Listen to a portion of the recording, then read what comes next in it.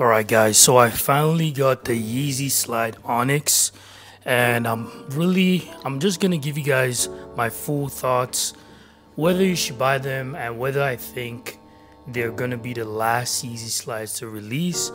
Honestly, uh, this Yeezy slide has had a lot of hype because Kanye wore them recently. I'm just gonna give you guys a breakdown, give you sizing advice, and let you guys know more information on the Yeezy Slide Onyx and also try it on as well. And if you're new here, my name is Julius. I make fashion and lifestyle content. So if that's something you're interested in, make sure you like and subscribe if you enjoy this video. So it comes with your standard box right here, which you guys can see.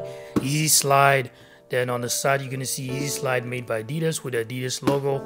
On the top, it says Slide. And also it gives you the size range on this side as well. Personally, for me, I go with size 12. I'll let you guys know what my actual size is and give you guys sizing advice as well. So the main problem that a lot of people have been having is the Yeezy slides. The sizing is not the same. Like it keeps on changing. So many different slides, they have different sizing. So I'm gonna give you guys my overall different sizing. Uh, I'm gonna give you guys my overall output in terms of the Yeezy slides and give you guys the best advice advice possible.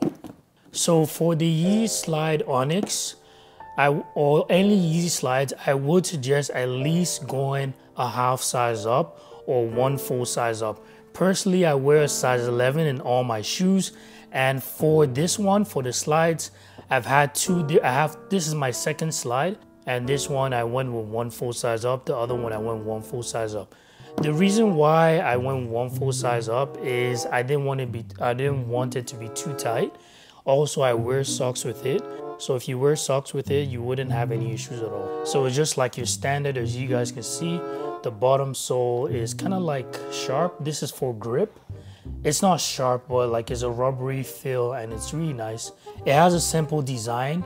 And as you guys can see here, always make sure if you're checking for the Yeezy slides, always make sure you check here because there's going to be a little bump here and Adidas logo, three stripes, which will let you guys know that this is actually a real Yeezy slide. The Yeezy Slides Onyx are available on sites like Goat and StockX. Personally, I wouldn't suggest going there. My first slide, I bought it from Goat, but the only problem was it was just overpriced and definitely the person probably tried it on before giving it to me. So I didn't really have much issues, but I could just tell it wasn't fresh. So that's one that's one reason I wouldn't suggest going to go to buy the Yeezy slides.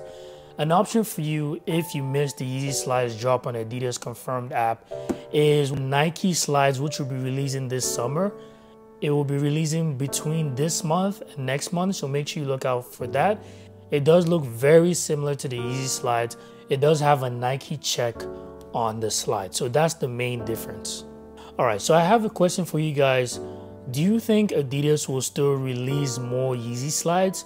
Personally, I do think they're going to release more Yeezy slides because they do have a lot of stock and they're not trying to lose a lot of money, especially because Yeezys is the biggest part of their revenue.